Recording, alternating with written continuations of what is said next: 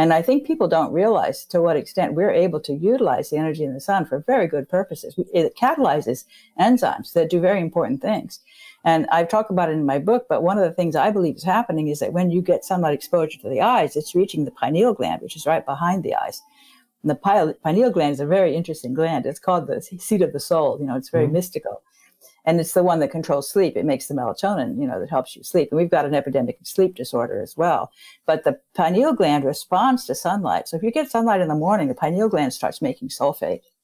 It makes sulfate in response to sunlight. And then it uses that sulfate at night and hooks it onto the melatonin molecules that it ships out into the cerebral spinal fluid. So it's making melatonin sulfate and putting it into the cerebral spinal fluid that's supplying the brain with sulfate as well as with mel- melatonin. And those are both really critical to help the brain clear cellular debris, which is what you do while you're sleeping. So it really helps you sleep, but it also helps you keep your brain healthy because you could clear those amyloid beta plaques if you had enough melatonin sulfate. And just going on the sun will produce cholesterol sulfate. Yeah, that's right. And that's the critical one. Cholesterol sulfate is what I write a lot about in my papers. Um, I believe it's a very important molecule, and I believe it is uh, derailed in uh, by glyphosate because the enzyme that makes um, there's an enzyme called endothelial nitric oxide synthase, which makes nitric oxide. But I believe it also makes sulfur dioxide. It has it's a um, moonlighting enzyme, it's called. It makes two things, and it depends on where it is and circumstances as to which one it makes.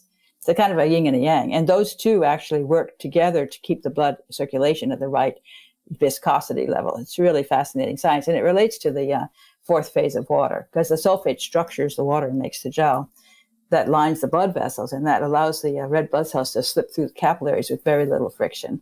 So really important to have the sulfate. In fact, it's cholesterol sulfate that's produced in the skin in response to sunlight. And then the cholesterol sulfate is released into the blood and it can travel freely in the blood. It doesn't have to be packaged up inside an LDL particle. So when you're not making enough cholesterol sulfate, your liver is compelled to release more LDL particles and your LDL goes up. And that's the one that gets you on a statin drug. So I think that high cholesterol is a consequence of low cholesterol sulfate. Right, and of course, oxidized LDL is the thing that's you know damaging. Um, oxidized LDL is what will cause you to end up get, with cholesterol accumulating in the arteries that supply the heart. And um, I have some very interesting theories about that as well. That has to do with um, your heart is actually squirreling away uh, uh, cholesterol in its arteries because it desperately needs cholesterol. It's waiting for sulfate in mm. order to get the cholesterol delivered, and and the sulfate gets delivered at the same time. So both the cholesterol and the sulfate are supporting each other to help them travel through the blood. Neither one of them does a good job of traveling through the blood without the other. You put them together and they have a much easier time to get around, which allows them to be distributed throughout your body. And when they arrive at a destination, they break apart and the sulfate goes into the extracellular matrix and the cholesterol goes into the membrane and the, and the cell is very happy to receive both of them. Cholesterol is not a toxin. It is an essential mm-hmm. nutrient. It's vital to health, you know, and it's only found in animals. Plants don't have cholesterol, which is interesting